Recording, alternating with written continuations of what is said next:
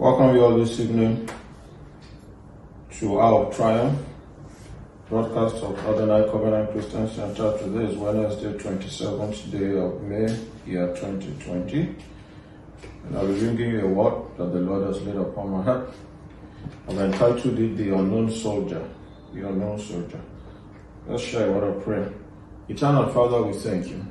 Lord, we bless your name. We worship you. We exalt you. We lift you we glorify your name. We give you praise. We give you worship. We give you honor. We give you adoration. We thank you, Father, for life. We thank you, Father, for well-being. We thank you, Father, for preservation. We thank you, Father, for provision. Father, we thank you, Father, for your word. We thank you, Father, for your spirit. We thank you, Father, for the Holy Spirit. Thank you, Father, for your blood that speaks better things. Speak to us this evening, Father, from your word. Grant us understanding.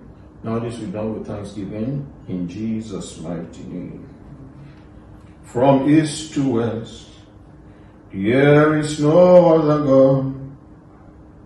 From north to south, I say there is no other, there is no other God. From east to west, there is no other King. From north to south, I say there is no other, there is no other God. From east to west, there is no other God. From north to south, I said there is no other God. So like I said earlier on, the topic of the sermon is the unknown soldier. For most people, you have heard or seen the statute of the unknown soldier. And it's simply uh, when soldiers go to war, some of them die and are recognized. Some of them die and not and are not recognized. Some of them come back from war or from battle and they are recognized, given all kinds of uh, medals for bravery and all of that. But there is a certain group that uh, die in battle and uh, their identity cannot be verified. Maybe the way and the manner in which uh, the bodies were mutilated, it becomes difficult for them to be identified that this body belongs to this particular person, and so they give them a mass burial, and that's really the idea behind the unknown soldier. So when you see the statue of the unknown soldier, so that's the topic of my sermon this evening. Acts 19, verses 13 to 18. Acts chapter 19, verses 13 to 18. Then certain of the vagabond Jews exorcists took upon them to call over them which had evil spirits the name of the Lord Jesus Christ, saying, We adjure you by Jesus whom Paul preached. And there were seven sons of one Sceva, a Jew and chief of the priests, which did so. And the evil spirit answered and said, Jesus I know, and Paul I know, but who are you? And the man in whom the evil spirit was leaped on them and overcame them and prevailed against them, so that they fled out of the house naked and wounded. And this was known to all the Jews and Greeks also dwelling at Ephesus. And fear fell upon them all, and the name of the Lord was magnified. And many that believed came and confessed and showed uh, their deeds. So, we have uh, this scenario that played out here now. And uh, these uh, seven sons of this uh, chief priest, we are trying to emulate or to copy Paul the apostle. And they tried to repeat the same thing that they had seen some of the believers do. And then the evil spirit began to speak and he said, I know Jesus Christ, whom Paul preaches. I know Paul who preaches Jesus Christ. He says, You are known to me. You are known uh, to me. And it's the same way with uh, many people. They are just like the unknown soldier. They are just uh, like the unknown soldier. Genesis 12. Genesis 12. My prayer is that God will bring each and every one of us out of obscurity in Jesus' mighty name. That Jehovah will cause us to be known, that we no longer dwell in anonymity or obscurity in the mighty name of Jesus Christ. Genesis 12 verses 1 to 5. Now the Lord had said unto Abraham, Get thee out of thy country and from thy kindred and from thy father's house unto a land that I will show thee. And I will make of thee a great nation, and I will bless thee and make thy name great. Thou shalt be a blessing. And I'll bless them that bless thee, and curse him that curseth thee, and in thee shall all the families of the earth be blessed. So Abraham departed as the Lord had spoken unto him, and Lot went with him, and Abraham was seventy and five years old when he departed out of Haran. And Abraham took Sarai his wife, and Lot his brother's son, and all their substance that they had gathered, and he sold that they had gotten in Haran, and they went forth to go into the land of Canaan, and to the land of Canaan they came. So Abraham was living in uh, all the Chaldees up till this moment in time. And up to that time, Abraham was not known. It was only the members of his family or his father's household that knew Abraham. And uh, where I just read now in Genesis uh, 12 verses 1 to 5, God said something very, very instructive to him. He said, I will make thy name great. I will bring you out of obscurity. You will no longer be anonymous. I pray for all those who are listening this evening that God will bring you out of obscurity in the mighty name of Jesus Christ. You no longer live a life of anonymity in the mighty name of Jesus Christ. God will make your name great.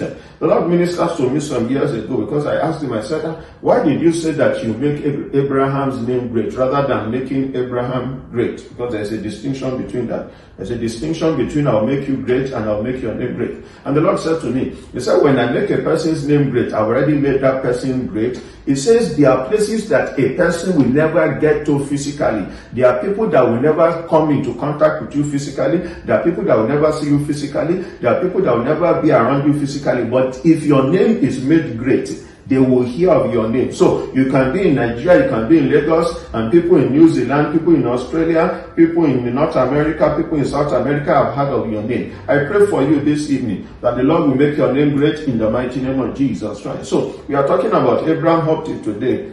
There's none of us living that has ever come across Abraham, but we try to associate with the blessings of God upon the life of Abraham because God made a commitment to make his name great. So there was a divine commitment to make his name great. There was a divine commitment that Abraham will no longer live the life of an unknown person, that Abraham will no longer live in obscurity. He said, I will bring you out of obscurity. I will take you to a place where I will make your name great. He was saying to Abraham, I will not permit you to die in obscurity. I declare and I speak concerning everyone listening this evening that you will not die in obscurity in the mighty name of Jesus Christ. The great purpose of God for your life, the very essence and the reason why God created you and brought you into this world, you will fulfill purpose, you will fulfill destiny in the mighty name of Jesus Christ. I will make thy name great. And one of the things that God did in the course of his work with Abraham was to change the name of Abraham. He changed the name of Abraham. Genesis 17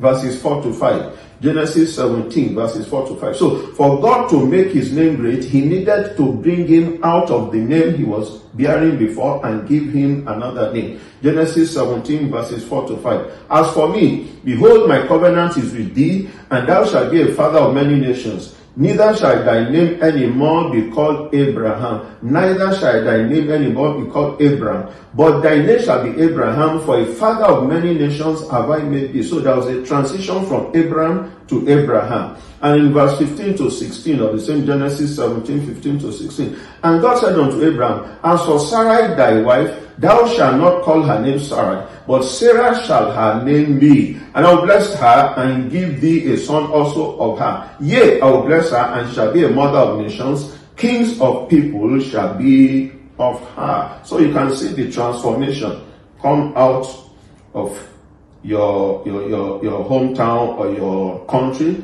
I'll take you to a place and it is when I get you to that place that you will enter into greatness. I pray for everyone listening this evening. The greatness that God has reserved for you will manifest quickly in the mighty name of Jesus Christ. That great name that God has reserved for you, that greatness, that fame that God has reserved for you, it will show forth in the mighty name of Jesus Christ. So part of what God had to do was to, as it were, uh, recycle their name or give them a new name. You know, and because of my association with people, I've come across all kinds of uh, names. I remember some years back, some people were telling me about their family name, their surname, because they had decided to change the name. So I asked them, why were you changing the name? And they said, oh, the, the meaning of the name means uh, mud. you know, in, uh, maybe in uh, Yoruba or whatever, it's something like uh, poto poto, you know, mud. And I said, ah, how does a person wake up and give him or herself that kind of name, you know, mud, mud. And uh, another one, he also was changing his name. So I said, oh, why were you changing your name? I was in, in, uh, uh, interested to know why he was changing his name. And he said, oh, his name means uh, there's still one more suffering that you must suffer before you make it. There's still one more suffering. Ah. And I said, what kind of name is that? You know, that there's, before you make it in life, there's still one more suffering that is reserved for you to suffer. I declare and I speak concerning your life. Any man, any woman, any power that has spoken concerning your life, that there's still one more suffering that you must suffer before you make it in life. I nullify, I cancel that suffering now in the mighty name of Jesus. Right? He said, I haven't suffered so God will establish you, strengthen you, and settle you. The time of suffering in your life has come to an end in the mighty name of Jesus. Right? This is the time for God to establish you. This is the time for God to strengthen you. This is the time for, God to settle you financially and materially, maritally in the mighty name of Jesus. Right? No more suffering in the mighty name of Jesus. Right? God sent Jesus Christ to suffer on your behalf. No man, no woman can append or attach suffering to your life, to your journey in life in the mighty name of Jesus. Right? Every word, every negative word, every word by any man, whether it be an agent of darkness, even an apostle of God that has spoken suffering into your life. I nullify that cause, that hex, that jinx now in the mighty name of Jesus. I break that word of suffering in your life in the mighty name of Jesus. You no longer suffer in Jesus' mighty name. Genesis 11, verses 26 to 32. Still talking about Abraham. Genesis 11, verses 26 to 32. Just look at the family of Abraham. And Sarah lived, and Terah, and Terah lived 70 years and begat Abraham, Nahor, and Haran. Now these are the generations of Terah. Terah begat Abraham, Nahor, and Haran, and Haran begat Lot. And Haran died before his father Terah in the land of his nativity in all the Chaldees. And Abraham and Nahor took them wives. The name of Abraham's wife was Sarai, and the name of Nahor's wife Milcah, and the name and the of Milcah, the daughter of Haran, the father of Milcah, and the father of Ishmael. But Sarai was barren; she had no child. And Terah took Abraham his son, and Lot the son of Haran, his, his son's son, and Sarai his daughter-in-law, his son Abraham's wife, and they went forth with them from all the Chaldees to go into the land of Canaan, and they came into Haran and dwelt there. And the days of Terah were 205 years, and Terah died in Haran. Now, when we look at where I just read now, so many persons are mentioned in those verses of scripture. So many, a couple of people are mentioned in those uh, verses of scripture. If I were to ask many of us now, how many names do you recognize or how many names are you familiar with? Maybe Abraham, Lot, Sarah. Maybe for some people they might even be familiar with the name of Terah, the father of Abraham. But all those other names that are mentioned in these uh, uh, uh, uh scripture verses, a lot of people are unfamiliar with them. And that is the story of the unknown soldier A man's name, a woman's name might be recorded in the Bible. A person's name might be recorded in scripture.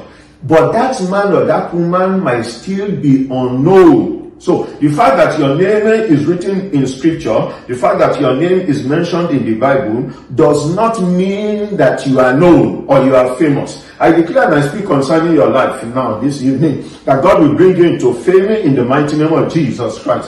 God will bring you out of the obscurity in the mighty name of Jesus Christ. You will no longer be referred to as an unknown soldier in Jesus' mighty name. So when we look at the, the, the family of Abraham, the siblings of Abraham, many of us don't know their names, their that we are not even bothered about, it. it does not concern us. And that's the way so many, majority of people that come into this world live a life of anonymity, a life of being unknown. God will bring you out of that kind of situation in the mighty name of Jesus Christ. I said God will bring you out of that kind of situation in Jesus' mighty name. Let's go again to Genesis 25, still looking at the family of Abraham.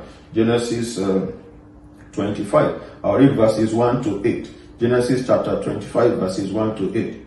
Then again Abraham took a wife, and her name was Keturah, and she gave him Zimran and Jokshan and Midian and Midian and Ishbak and Shua. And Jokshan begat Sheba and Dedan, and the sons of Dedan were Ashurim and Letushim and Lehumi. And the sons of Midian, Ephah and Ephah, and Anok and Abida and Eldah.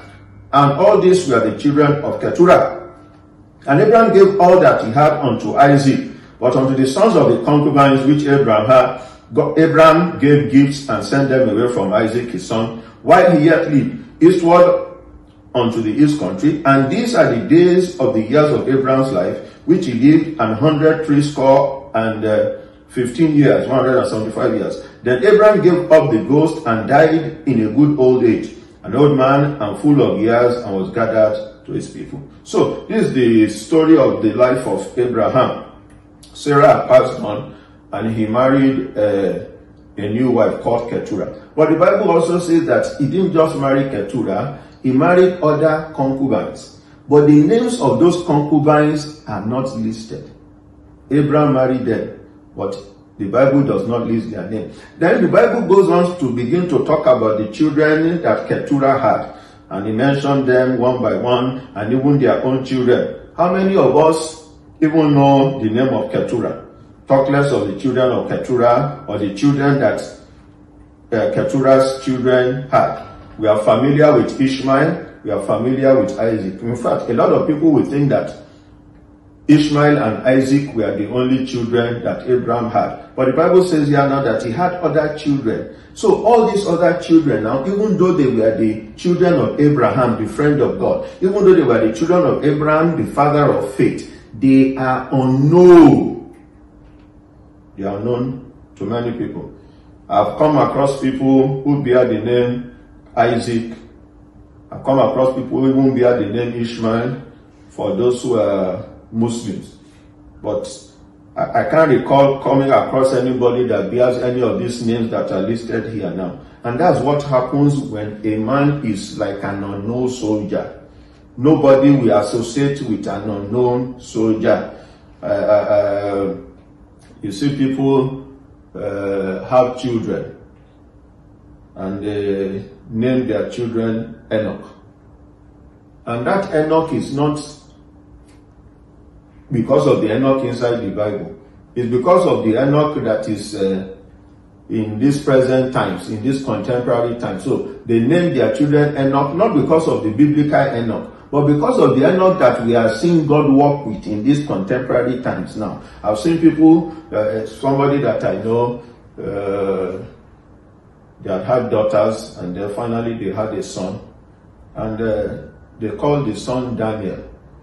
And they didn't call the son Daniel because there's a Daniel inside the Bible. No, they called the son Daniel after the name of the head of the church that they go to.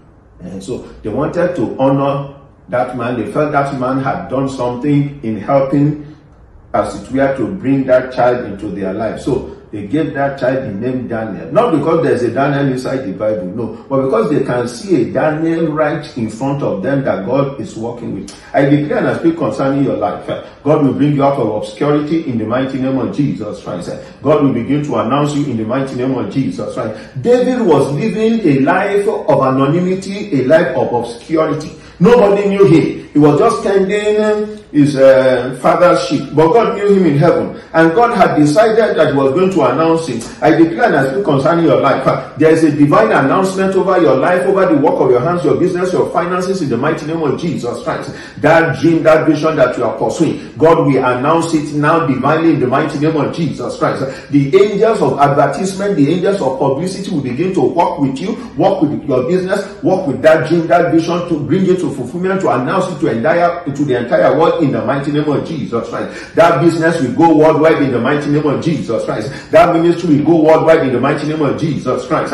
That vision, that dream will go worldwide in the mighty name of Jesus Christ. The angels that blow trumpet over the life of a person to announce him to the whole world. They will begin to sound that trumpet over your life in the mighty name of Jesus Christ. Their trumpet will begin to announce the work of your hands, your business, your finances in Jesus' mighty name. David was only known in his father's house and uh, by God in heaven. And then God took a decision. He said, now is the time to announce David. Now is the time to announce you in the mighty name of Jesus Christ. And he brought David to the battlefield to come and announce him. When David came to the battlefield where Goliath was, nobody knew him. And he kept on going from one person to the other. What did the king promise? The person that can defeat this giant. What did the king promise? The person that can defeat this giant. And even his own elder sibling was saying to him, you are a mischievous and naughty small boy. You think that this place is a, a, a house or a movie house. He says, we are here to fight. And David said, he said, God uh, has given me victory hitherto. Nobody knew about my testimony when I fought the lion and the bear. And the God that, and, that gave me victory over the lion and the bear is going to give me over, give me victory over this giant and announce. And that's what exactly happened. At the end of it all, the Bible says the women were singing in First Samuel 18, 6 to 9. First Samuel chapter 18, verse 6 to 9. And the women were singing praises to Saul and David. And they said, Saul has killed this number of people. And this is the number of people that David had killed. First Samuel chapter 18 verse 6 to 7. And it came to pass as they came when David was returned from the slaughter of the Philistines, that the women came out of all the cities. So out God announced him in one day to the entire nation.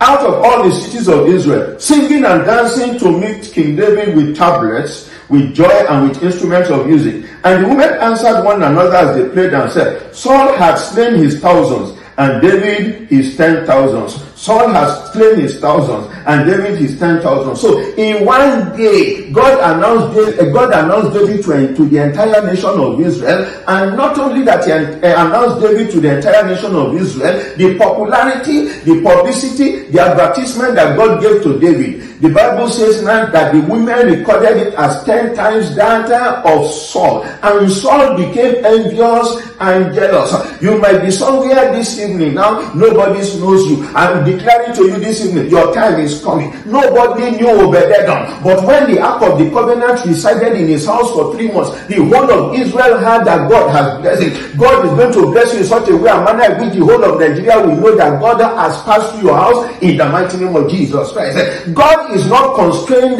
by any pandemic. God is not constrained by any COVID-19. When God spoke a word that this year 2020 is my year of harvest, God knew that there was going to be a pandemic. God knew that COVID-19 was going to shut down the entire world. But he said that he shall supply my needs, my wants according to his riches in glory in Christ Jesus. Not subject to any lockdown, not subject to any partial easing of lockdown, not subject to shutting down the whole world. The whole world might be shut down, but God is not shut down. I said the whole world might be shut down, but the power of God is not shut down. The whole world might be shut down, but the word of God is not shut down. And that word has gone over your life that this year is your year. It is your year to get married. It is your year to build a house. It is your year to buy land. It is your year to have children. It is your year to explode in every direction in the mighty name of Jesus Christ. It does not matter what anybody is saying. God has spoken the word. He said the word has gone forth out of his mouth. He says he will not alter the word that has left his lips.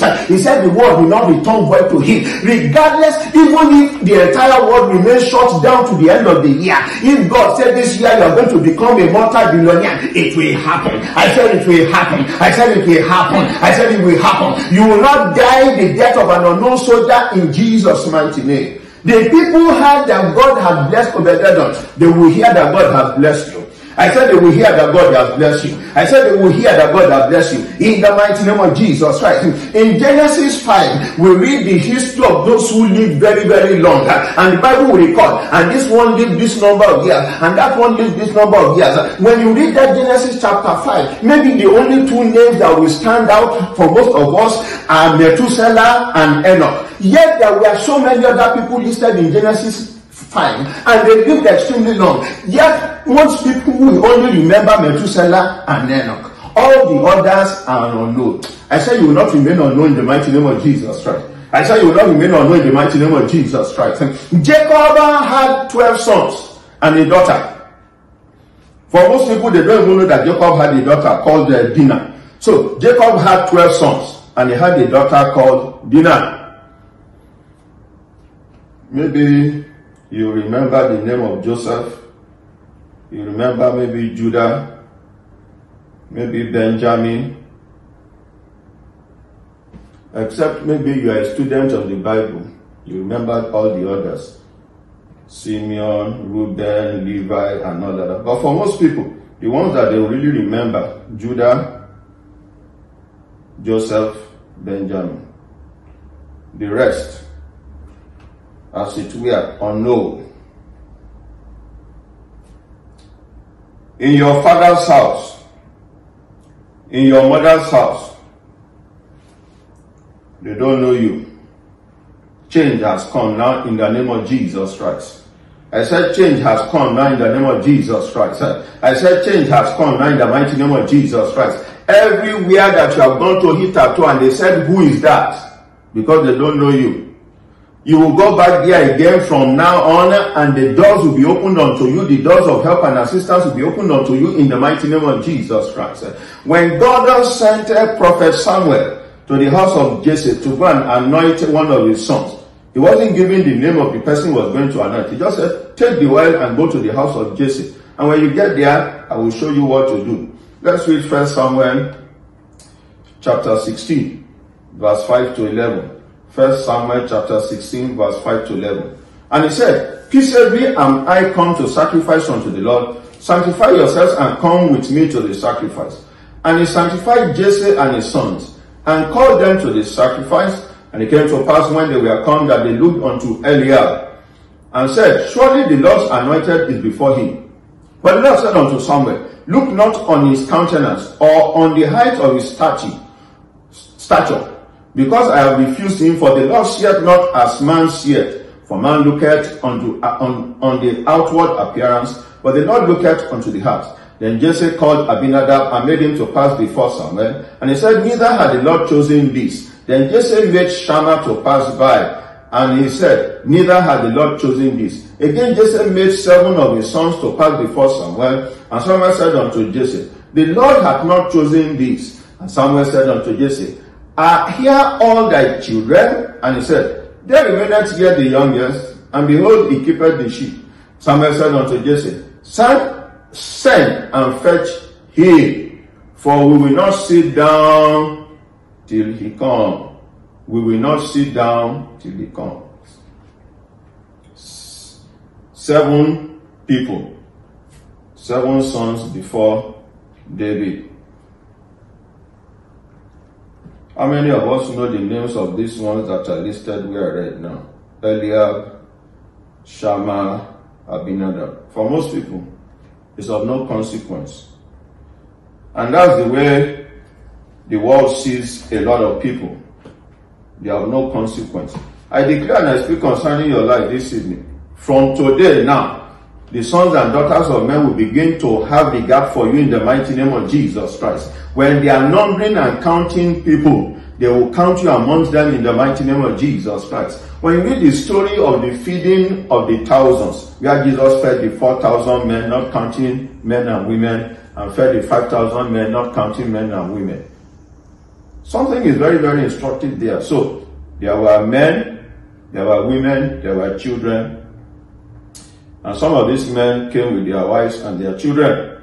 Yet when they counted people, the Bible says they counted 4,000 men and 5,000 women. They didn't bother, uh, 4,000 men in one story and 5,000 men in another story.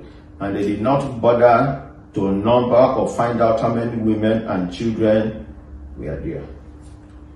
And that's the story of the life of so many people. Oh, how many people came to the meeting? Five people. And they said, but I thought I saw more than five people. I saw like 20. Ah, there's only five people that matter. That can All the others, they don't matter. You will matter in the mighty name of Jesus Christ. I said you will matter in the mighty name of Jesus Christ. I said you will matter in the mighty name of Jesus Christ. From now on, you begin to matter in the mighty name of Jesus Christ. Someone said nobody will sit down until David comes. So they want to hold a gathering in your father's house. They want to hold a gathering in your mother's house. Your father's children have gathered. Your mother's children have gathered. But they said the meeting will not commence until you get there. And that's when God has made your name great. Eh? When God makes your name great, the meeting will not take place until you get there. Even if the meeting takes place, when you get there, they will start the meeting again. Because without you, they can't take any decision. That will be your testimony in the mighty name of Jesus Christ. Second Samuel, verses 5 to 30. Second Samuel, verses 5 to 30. And David took him more concubines and wives out of Jerusalem after he was come from Hebron, and there were yet sons and daughters born to David. So, when you read the Bible, when he became king in Judah, and became king in Israel. The Bible says, and these were the wives of David. Bathsheba, she who used to be the wife of Uriah, Abigail, she used to be the wife of Nabal, and mentioned them. But here now, we are told that he had many concubines and wives. They were anonymous. When Absalom drove David from the throne, the Bible says uh, Absalom sought uh, counsel from Ahithophel on what to do, and he was giving counsel.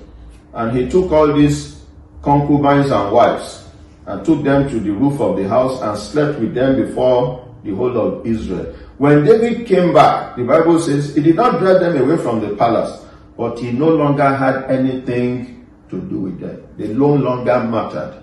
Yet he had wives that matter to him. Wives whose names are listed when they are listing the family of David. When they are listing the fa- your, your father's children, your name will be included in Jesus' name. When they are listing your mother's children, I say you will, no long, you will not be found wanting in the mighty name of Jesus, right? Your name will not be found missing in Jesus' mighty name.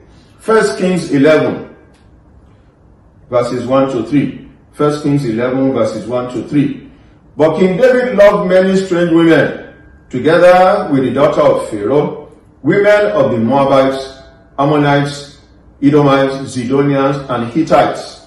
Of the nations concerning which the Lord said unto the children of Israel, Ye shall not go in unto them, neither shall they come in unto you, for surely they shall turn away your heart after their gods. Solomon clave unto this in love, and he had seven hundred wives, princesses, and 300 concubines, and his wives turned away his heart. So a total of 1,000 women, a total of 1,000 women.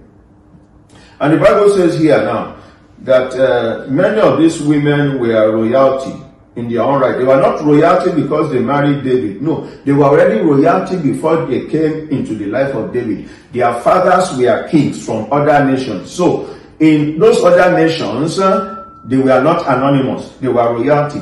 But here now, when they are being listed, I mean, in, in, in, in, the life of Solomon, not David, sorry, in the life of Solomon, their names are not listed at all. 1,000 women unknown. Maybe when we get to heaven, they'll be introducing themselves if they are there.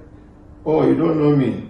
Oh, I'm one of the 1,000 wives and concubines or so. I say, ah, I didn't see your name inside the Bible.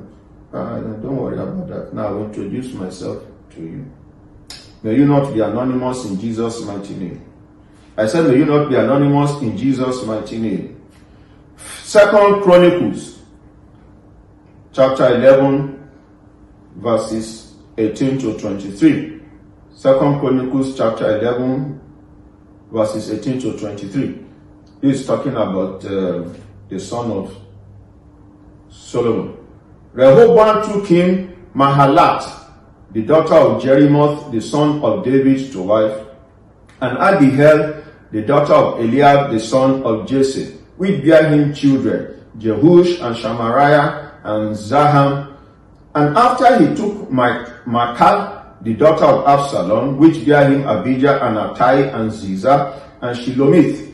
And Rehoboam loved Maacah, daughter of Absalom, above all his wives and his concubines. For he took 18 wives and three score concubines, so 18 wives and 60 mistresses, and begat 20 and 8 sons and three score daughters, so 28 sons and 60 daughters. And Rehoboam made Abijah, the son of Maacah, the chief, to be ruler among his brethren, for he thought to make him king. And he dealt wisely and dispersed all of his children throughout all the countries of Judah and Benjamin, unto every fenced city. And he gave them victual in abundance, and he desired many wives. So here now, we see the story of Rehoboam. He had uh, 18 wives and 16 mistresses. But the Bible says out of these 78, yeah, out of these 78 women, one of them was special. And the woman is called Maacah, the daughter of Absalom. One of them was special. And because she was special to Rehoboam, he picked one of her sons to make that son king when he was no longer king. His desire, his plan was that boy or that man would take over from him. So out of seven, out of 78 women, one was there to him. There are many women who want to be mistresses and concubines. So you can see the story of the life of a mistress or a concubine. It's just a life of anonymity, a life of nobody knows you. Hagar had a son for Abraham, but Hagar was not the madam of the house. On two different occasions, Hagar was driven from that house. The first time she was driven, she was uh, told to return back. The second time, she was driven away again. Uh, Sarah told Abraham, this woman must leave. And he drove her away. So, you can have children for a man. It's really of no consequence. Anybody can have children from anybody for anybody. The issue is, what space do you occupy in that man's heart? Are you dear to his heart? The fact that you have children for him doesn't mean that you are dear to him. In the story of the 12 original apostles of Jesus Christ, When Judas had uh, lost his bishopric, as Acts says, and then they gathered in the upper room and took a decision to find a replacement for him. And the Bible says that uh, they cast lots. They cast lots. Let's read Acts 1, verses 21 to 26. Acts chapter 1, verses 21 to 26. Wherefore of these men which have companied with us all the time that the Lord Jesus went in and out among us, beginning from the baptism of John until that day that he was taken off from us. Must one be ordained to be a witness with us of his resurrection? And they appointed two, Joseph called Barsabbas, who was surnamed Justus, and Matthias. And they prayed and said, Thou Lord, which knowest the hearts of all men, show whether, show whether of these two thou hast chosen, that he might take part of this ministry and apostleship, from which Judas by transgression fell, that he might go to his own place. And they gave forth their lots, and the lot fell upon Matthias, and he was numbered among uh, the eleven apostles. They chose Matthias, but God did not choose Matthias.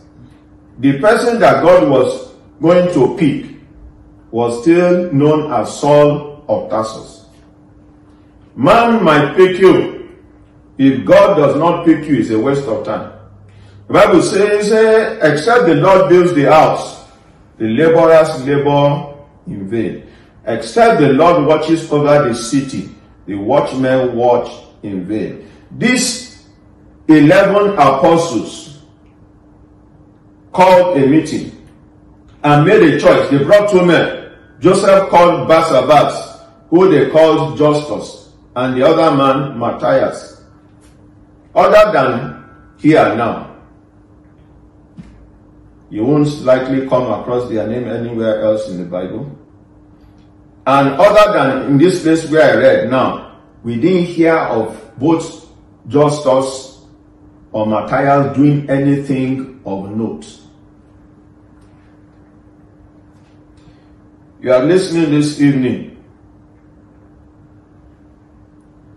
My prayer for you is that God will begin to announce you from this evening in Jesus' mighty name. God will begin to announce you from this evening in Jesus' mighty name. So we see people bearing biblical names. Abraham, David, Solomon, Paul, John, Joseph. How many people have come across somebody bearing the name Esau? Yet Esau is a son of uh, Isaac. How many of us have met somebody bearing the name Esau? Other than maybe if you go to Israel or among Jews, where it's just a name like Funke or Kemi or Chukwuma. You will even come across people bearing the name Lazarus. At least I've come across people bearing the name Lazarus, but I've not uh, come across anybody bearing Esau. Why? because that name is associated with infamy. So, there are two names now Judah and Judas. Judah and Judas. So, you hear people, if I have a friend who named his uh, last son Judah, meaning priest. So, Judah is one of the sons of Israel. But you will hardly come across somebody calling his son Judas because that name is associated with Judas Iscariot. Yet the two names are the same. Judah is the Jewish uh, name, while Judas is the Greek form of it. So a man will name his son Judah. They say, ah, why don't you call your son Judah? I say, no, no, no, I can't call my son Judas. No, but it's the same name. In fact, in, in, in, in, in another place, it's translated as Jude. So, Judah, Judas, Jude is the same thing. So, uh, when we were in, uh, when I was in university, I had uh, I knew somebody whose name was uh, Jude. Jude. So, they give people the name Judah. They jump Judas and go to Jude. But those three names are the same thing. Those three names. So Judah is the Hebrew, Judas is the Greek. But they will not want to call their son Judas because they feel that uh, negativity goes with it. I pray for you this evening. You are unknown spiritually. The devil said Jesus we know, Paul we know. Who are you? You are known professionally. God will change your story in Jesus' name. You are known financially. God will change your story in Jesus' name. You are known when they are counting material substance and abundance. God will change your story in Jesus' name. Whatever situation or circumstance that you have found yourself that is unpalatable, that is unpleasant, I say receive a change now in Jesus' mighty name. But the greatest change that a person can receive is to be born again, to accept Jesus as his personal Lord and Savior. You have listened to this broadcast this evening, Wednesday, 27th day of uh, May, year 2020. You do not know the Lord Jesus Christ, you are not born again, you are not saved. I'd like to extend the invitation to you accept Jesus as your personal Lord and Savior. Wherever you are, where you are listening to this broadcast, just say after me, Lord Jesus, I invite you into my life. I invite you to my heart. I hand over the totality of my life to you. I renounce every work of sin. I renounce every work of unrighteousness. I renounce every work of ungodliness in the mighty name of Jesus Christ. Wash me in your blood. Sanctify me with that blood. Purify me with your blood. Write my name in the book of life. Write my name in the book of remembrance. On that day, let me not be found wanting. I pray that the Lord will establish you in faith in Jesus' mighty name. Those of us who are already born again, I pray that the Lord will continue and see you through to the end in the mighty name of Jesus Christ. You will not backslide. You will not go back onto perdition in the mighty name of Jesus Christ. Once again, this is the Hour of Triumph broadcast of Adonai Covenant Christian Center. We are based in Ikoyi, Lagos, Nigeria. For now, because of the COVID-19 lockdown, we stream, uh, we broadcast the messages Sundays 9 a.m. and Wednesdays 6 p.m. But normally we meet Sundays 9 a.m. and Wednesdays 6 p.m. The worship venue is at uh, number 10 Ikoya Avenue, Ikoyi, Lagos, Nigeria. Ikoya Avenue is off McPherson and McPherson runs between Bourdillon Road and Queens Drive. I pray that you have been blessed and God will continue to keep you safe, you and your household, in Jesus' mighty name.